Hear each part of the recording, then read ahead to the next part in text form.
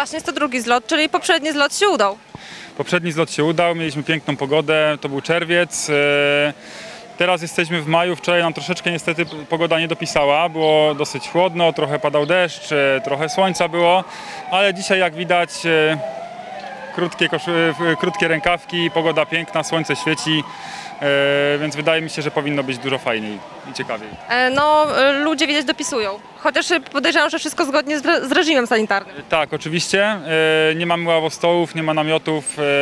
Serwujemy dania tylko i wyłącznie na wynos, więc tak zalecamy, żeby ludzie jak odbiorą swoje zamówienia, to żeby po prostu wychodzili ze strefy i w momencie, kiedy chcą jeszcze coś dokupić, to żeby wrócili po prostu. No, są też te stoiska z płynami do dezynfekcji. Tak, mamy na, na wejściu do strefy stoisko do, do dezynfekcji rąk.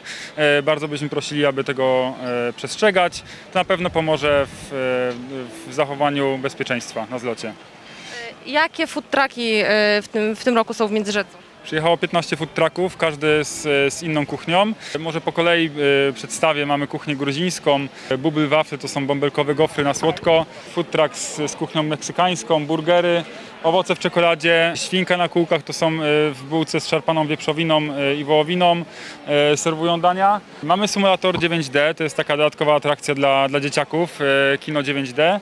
Dalej mamy sushi, pierożki dim sum, odwrócę się w drugą stronę, e, food truck z, e, z kuchnią, e, z pad thaiem, z kuchnią z Tajlandii, zapiekanki, kuchnia malezyjska, fabryka frytek z frytkami, hot dogi, kurczaki po amerykańsku oraz churrosy, hiszpańska przekąska z Hiszpanii na słodko. Czyli każdy znajdzie coś dla siebie.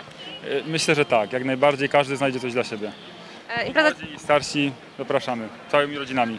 impreza cieszy się dużym zainteresowaniem, więc pewnie za rok kolejny raz, kolejny zlot będzie. Wszystko zależy od tego, jak się ułoży współpraca z urzędem, ale wydaje mi się, że tak, ponieważ e, urząd jakby jest bardzo przychylnie na to patrzy, za co dziękujemy. Wydaje mi się, że, że jest taka możliwość, że w przyszłym roku e, po raz kolejny przyjedziemy do Międzyrzeca.